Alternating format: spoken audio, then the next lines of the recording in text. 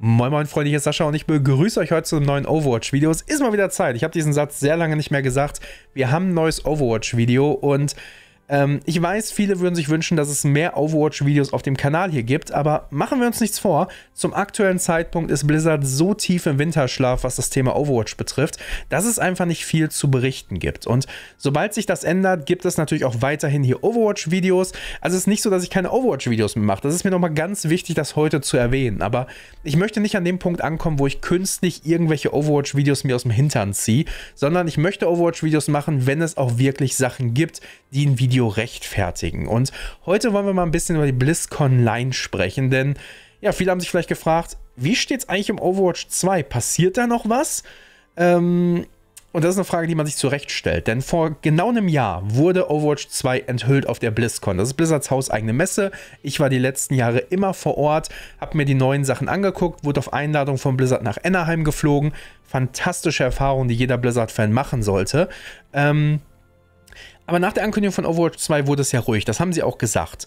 Und eigentlich wäre der Plan sehr wahrscheinlich gewesen, dass wir auf dieser BlizzCon, die jetzt ziemlich in diesem Zeitrahmen stattgefunden hätte, ähm, mehr über Overwatch 2 erfahren. Ja, dadurch, dass wir nochmal eine globale Pandemie haben, dadurch, dass Messen abgesagt sind, findet die BlizzCon dieses Jahr nicht regulär in Anaheim statt. Stattdessen bringt man das Ganze im nächsten Jahr online. Februar ist es soweit. Das Ganze nennt sich BlizzCon Line. Weirder Name, aber lassen wir mal so stehen. ähm, dort wird man dann wahrscheinlich mehr endlich über Overwatch erfahren. Wer also irgendwie gehofft hat, dass jetzt im November was passiert, den muss ich leider enttäuschen, denn letzte Woche hat J. Allen Bragg ein neues Video veröffentlicht. Da hat er so ein bisschen über den Entwicklungsstand von den hauseigenen Spielen gesprochen, über Diablo, über World of Warcraft. Ähm, und theoretisch hat er uns nahezu nichts über Overwatch 2 gegeben. Es ist viel in einem Nebensatz oder sowas, das ein wichtiger Franchise ist, aber ähm, es hat im Grunde genommen die Hoffnung, glaube ich, zerstört, die viele von uns hatten, dass wir dieses Jahr vielleicht zumindest noch ein kleines Lebenszeichen vom Spiel bekommen. Ähm, das heißt, wir müssen unsere Augen auf die BlizzCon Line richten, die im Februar stattfindet, die übrigens, und auch das wurde diese Woche bekannt gegeben, komplett kostenlos für alle Leute verfügbar sein wird. Ähm, ob es dann wieder irgendwie so ein, so ein Virtual Pass gibt, den man sich kaufen kann für Skins. Letztes Jahr gab es ja den coolen Genji und den Symmetra Crossover WoW Skin. Ähm, das muss man dann noch sehen. Aber ja, sehr wahrscheinlich, also wir können uns im aktuellen Zeitpunkt darauf einstellen, dass vor Februar nichts mehr passiert. Ähm, ob im Februar dann vielleicht, wie von momentan von vielen spekuliert wird, irgendwie eine Beta stattfindet, ob man Dinge online testen kann, ich würde fast davon ausgehen. Selbst wenn es keine Beta ist, würde es mich nicht wundern, wenn Blizzard für ein Wochenende ähm, vielleicht die Overwatch 2 Server ähm, online bringt, dass man den Push-Modus antesten kann. Denn man darf nicht vergessen, der war im letzten Jahr ja schon spielbar. Auf der letzten BlizzCon vor genau einem Jahr konnte man die Toronto-Map spielen, man konnte auch ähm, den Push-Modus spielen und ich glaube, es gibt nicht so viele Gründe, die dafür sprechen, um so ein bisschen etwas zu geben, sag ich mal. Und ähm, so ein bisschen diese Erfahrung, die wir alle nur online erleben können, weil wir nicht nach Anaheim können, zur BlizzCon selbst, ähm, dann online zu erleben und so ein bisschen Zeug anzuspielen. Uns ein bisschen die Hoffnung zu geben mit dem, was Overwatch 2 dann wirklich an den Tisch bringt. Aber bis dahin wird es vermutlich sehr ruhig. Wir wissen, Winter Wunderland beginnt theoretisch im ähm, Dezember. Ähm, jetzt haben wir noch einen ganzen Monat bis dahin. Es könnte sein, dass diesen Monat wirklich eine Ingame-Challenge beginnt. Würde mich sogar nicht wundern. Wir haben noch diesen dritten Tracer-Comic, der droppt. Dazu werde ich übrigens nochmal ein komplettes Story-Video machen, wenn dann der Comic komplett da ist ähm, was jetzt vermutlich jeden Tag passieren dürfte. Also würde es mich wundern, wenn vielleicht Dienstag oder darauf die Woche eine Ingame-Challenge nochmal startet, die uns zwei, drei Wochen beschäftigt. Dann kommt Winter Wunderland und dann im Februar ist die BlizzCon Line. Ja, was aber noch ganz interessant war, war diese Woche auch, dass ein Conference Call stattgefunden hat, wo Blizzard so ein bisschen über die eigenen Finanzen gesprochen hat und auch Pläne, die die Zukunft betreffen. Und dabei war man sehr up front and center, dass man gesagt hat, man versucht, die eigenen erfolgreichen Franchises auf mobile Plattformen zu bringen. Ähm, ist keine große Überraschung, gerade wenn man sieht, was für ein riesiger Erfolg zum Beispiel Call of Duty Mobile geworden ist, was sich sogar erstaunlicherweise für einen First-Person-Shooter ziemlich gut auf einem Smartphone spielt. Ähm, jetzt bin ich der Meinung, ich möchte kein Overwatch auf einem Handy spielen, nicht so wie es derzeit ist. Was wir aber nicht vergessen sollten, ist, dass man diesen Franchise einfach ausbauen könnte. Es könnte ein Spin-off-Spiel sein. Es könnte irgendwas sein, was wirklich auf Smartphones zugeschnitten ist, ähm, was jetzt aber nicht unbedingt das Hauptspiel ist. Wir sehen das mit anderen erfolgreichen Franchises. Zum Beispiel schauen wir uns sowas an wie Pokémon. Es gibt so viele Pokémon-Spiele oder Mario-Spiele mittlerweile, die auf dem Smartphone funktionieren, ähm, die aber nicht jetzt diese Kernerfahrung sind, sondern einfach wie so eine Art Spin-off-Game. Ähm, und da bin ich sehr gespannt drauf, was Blizzard wirklich daraus macht. Denn ich sehe schon, und ich glaube, das sieht auch jeder von euch, dass Overwatch ein Universum ist, was wir alle toll finden.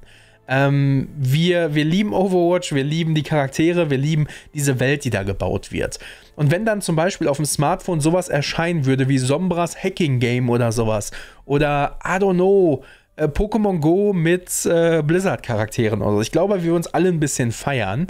Ähm, auch wenn das jetzt vielleicht nicht die besten Beispiele sind, machen wir uns da nichts vor. Aber ich denke, es gibt genug Raum, ein cooles Smartphone-Spiel zu entwickeln, was auch wertig ist, was nicht unbedingt so ist, wie Overwatch jetzt als Shooter ist, aber einfach ein bisschen was an den Tisch bringt, was cool auf dem Handy spielbar ist. Und und ich bin mir ziemlich sicher, dass viele von euch jetzt sagen werden, ach, Overwatch ist doch eh ein toter Franchise. Ähm, das Ding ist, das ist viel subjektive Wahrnehmung. Denn auch wenn ihr das vielleicht an euren Freunden seht, die weniger Overwatch spielen oder an den Leuten um euch rum oder ihr seht, dass auf Twitch weniger Overwatch gespielt wird oder zum Beispiel ihr hier seht, dass es weniger Overwatch-Videos gibt. Overwatch ist vier Jahre nach seinem Erscheinen immer noch unfassbar populär. Im Conference Call hat man nämlich bekannt gegeben, dass es immer noch 10 Millionen monatliche Spieler gibt. Jetzt ist die Frage, was heißt monatliche Spieler? Sind das Leute, die sich einfach einloggen in Overwatch, äh, selbst wenn sie nur eine Minute verbringen? Sind das Leute, die mindestens eine Stunde spielen? Das wissen wir nicht. Aber selbst wenn sich 10 Millionen Leute nur einloggen, ähm, ist das eine große Zahl für ein vier Jahre altes Online-Spiel. Ähm, darf man in keinster Weise unterschätzen oder Overwatch für tot erklären. Contentmäßig, da kann man sagen, Overwatch ist seit diesem Jahr äh, so kurz vorm Herzkollaps. Aber was die Spielerbase betrifft, die ist weiterhin da. Ihr kriegt es vielleicht nicht mit, weil, weil ihr vielleicht nicht auf der Plattform spielt, wo viele Leute da sind. Ich weiß zum Beispiel, auf Switch gibt es extrem wenig Spieler, subjektiver Eindruck. Ähm, aber auf anderen Plattformen wird halt deutlich mehr gespielt. Und das muss man halt immer sehen. Ja, ebenfalls auch interessant, wo wir Overwatch 2 geredet haben, es gibt jetzt einen sehr interessanten ArtStation-Account. Ähm, der ist nämlich von Andrew Manywear, das ist einer Environmental Artist von Blizzard. Und der hat, äh, wie viele andere Blizzard Artists auch, sein, sein ArtStation-Account mit ein bisschen Konzeptart gefüllt von, von den Sachen, die uns im Grunde genommen auf der Toronto-Map erwarten.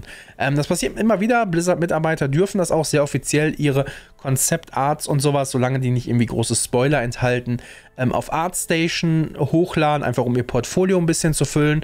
Und ähm, bei Andrew sieht es so aus, dass der uns so ein paar Sachen gezeigt hat, die auf der Toronto-Map rumstehen werden. Wir sehen zum Beispiel so Armprothesen, die teilweise ein bisschen sogar nach Lucio aussehen. Die eine sieht irgendwie nach Iron Man aus. Ähm, also es werden alles Sachen sein, die irgendwo auf der Map platziert sind. Das ist jetzt nichts, was uns spoilermäßig irgendwas wegnimmt. Oder, äh, aber es sieht einfach sehr cool aus, so diese futuristischen Designs zu sehen ähm, dass es hier irgendwelche Penny-Pressen gibt, dass es wie die Bänke aussehen und so weiter. Ich finde, das ist cool. Schaut euch da gerne mal durch, äh, was er hier alles veröffentlicht hat. Wir sehen unter anderem auch Beine, die äh, wie Hansos Beine aussehen. Auch das sehr cool. Ähm, schaut euch das gerne mal an. Ich verlinke es euch. Auch das wollte ich euch heute mal erwähnen. Ja, Freunde, und das war's. Ich habe heute mal viele Sachen hier reingeworfen, damit wir mal so ein kompaktes, kleines, ich bringe euch auf den aktuellen Stand rund um Overwatch, rund um Overwatch 2, alle Sachen, die passiert sind, bringe.